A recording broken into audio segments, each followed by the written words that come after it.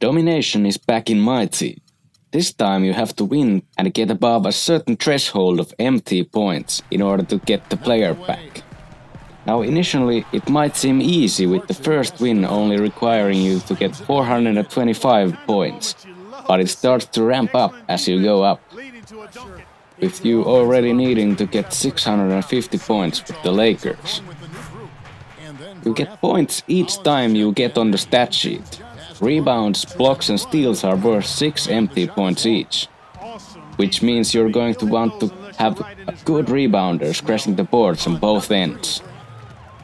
When scoring, you get additional points depending on how you score. 4 bonus points for fast break, 4 for the shot being assisted, 3 for it being a dunk and 2 for a layup. Given that you want to be able to get as many points as you can, you have to play a run and gun type offense with an emphasis on inside offense in order to get the point requirements at the higher levels. On points of emphasis, you're going to want to crash the boards on offense. Depending on how close you are to winning will determine your aggressiveness. If you're not confident in coming out on top, you can put some players to get back while others crash the boards. On defense, I'd advise you to put at least some of the players to go on break early, even if you're not confident of getting every board. As a rebound will net you 6 points, but an assistant fast break dunk is worth an incredible 13 points. That's why you should always push the ball, to keep up with the tempo as well as to get the fast break bonus.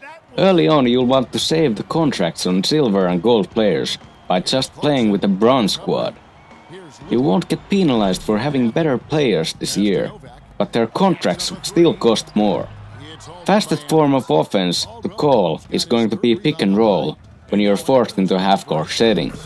But remember, your time is more valuable to you than scoring on every possession.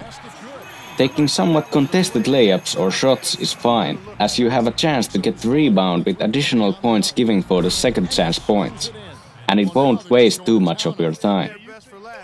Just make sure the shots you take are assisted upon.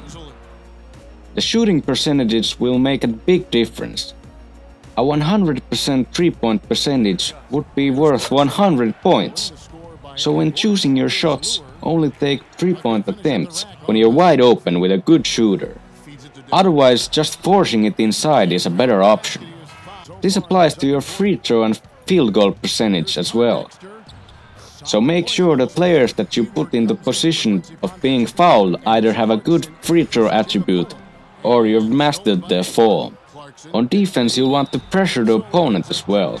You won't get penalized for being scored on, so if the game isn't tight, you can use smart double teams to force the opponent into playing faster.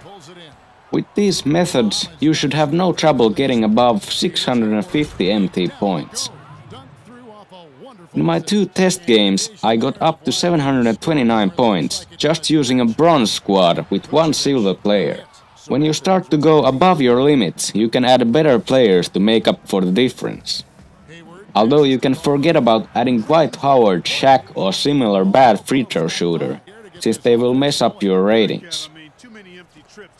Thanks for watching, and I'll see you next time. And he goes up strong with one hand and flushes.